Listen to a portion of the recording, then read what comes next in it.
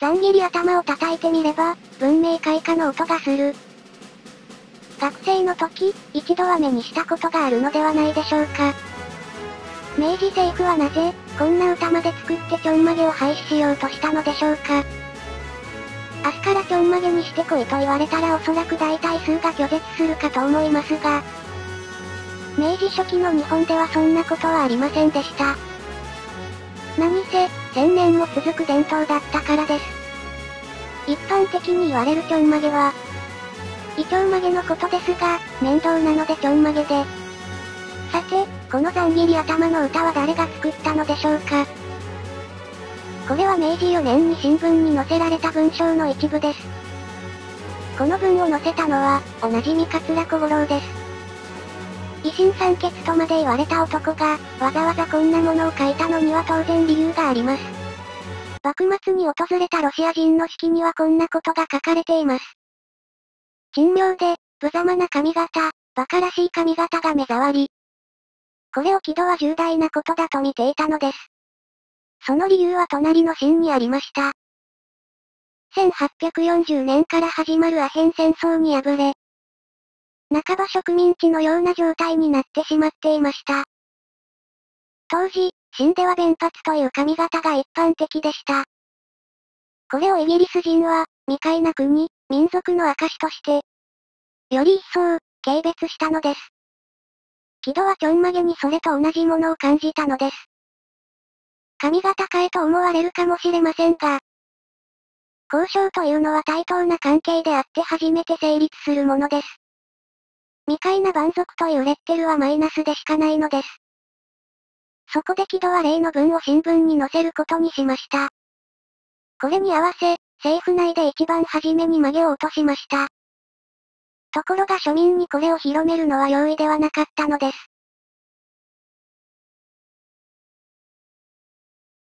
当時の鳥取県の新聞にはこんな記事が載りました。ある男が曲げを切り、坊主頭になって帰ったところ、その妻がその頭を見て気持ちが悪いと、離婚されてしまったというのです。なんと男性よりもむしろ女性に不評だったようです。こんなことが全国各地で起こったと言われています。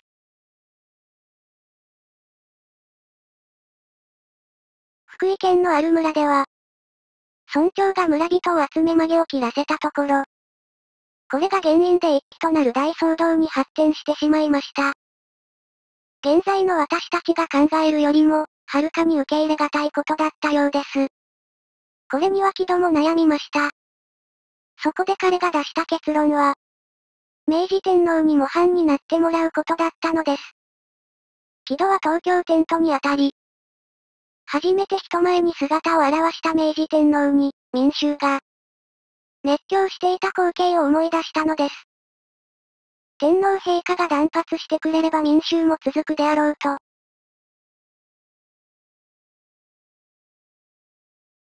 天皇の断髪には大きな壁がありました。宮中と公家が大きく反発をしたためです。それも当然で、武士の歴史以上に長い伝統があるからです。その中で特に反対をしたのが、公家の岩倉智美です。岩倉は曲げを落とせば日本の伝統が失われると言いました。岩倉を説得できないようでは、とても天皇陛下を説得することなどできません。ところが、断髪令から3ヶ月後、転機が訪れます。外務卿となった岩倉を中心にアメリカに向かうことになったのです。教科書にも出てくる、岩倉使節団です。岩倉使節団の主な目的は、条約改正が目的でしたが、木戸には別の思惑もありました。西洋人がちょんまげにどれだけ偏見を持っているか。実際に行けば、岩倉にも理解してもらえるのではないかと、考えました。使節団は行く先々で歓迎を受けました。特に日本古来の格好をした岩倉は注目されました。これに気を良くした岩倉は、より自信を持つことになったのです。ところが、アメリカに留学していた次男、友貞に言われます。使節団が歓迎されているのは物珍しさであり、未開な文明の奇妙な格好を楽しんでいるに過ぎないと。それを証明するかのように、当時のニューヨークタイムスにはこんな記事が出ました。ともみちゃんはまだ民族衣装にこだわってるね。歓迎する素振りを見せながらも、その裏では嘲笑されていたのです。これにショックを受けた岩倉に対し、木戸は伝統を守ることの重要性は尊重するものの、今は、日本が文明国であることを示すことが大事であると、説得したとかしないとか。岩倉は滞在先であるシカゴで曲げを落としました。そしてワシントンの日本公使館には、2枚の写真が飾られました。これまでの日本と、これからの日本と書かれて、これによってアメリカに対し、日本は未開な国家ではないことを示しました。さて、本当に息子や他人の説得で堅くなだった。曲げを捨てたのでしょうか彼はこの使節団での出来事を三条実富に書簡を送っています。アメリカは岩倉の想像をはるかに超えるものであったことが書かれています。彼は西洋の文明に学ぶべきことが多いことを、悟り、伝統に固執している場合ではないと感じたのではないでしょうか。この岩倉の断髪は日本の公家にも伝わります。当時の公家の手紙にはこんなものが残っています。散髪は国家のためである、という認識に変化したことがわかります。これによって公家たちに断髪が広がりました。1873年、明治6年、3月20日、明治天皇は自ら断髪を宣言し、側近によって断髪されました。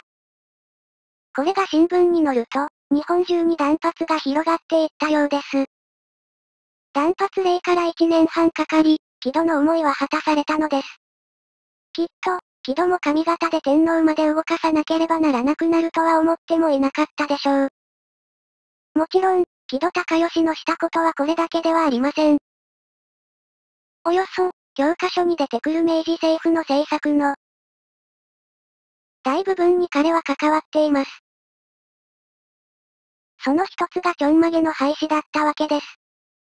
教科書では、薩長同盟ぐらいでしか出てこない名前ですが、西洋に負けない国を作ろうとした、偉大な政治家だったと言えるのではないでしょうか。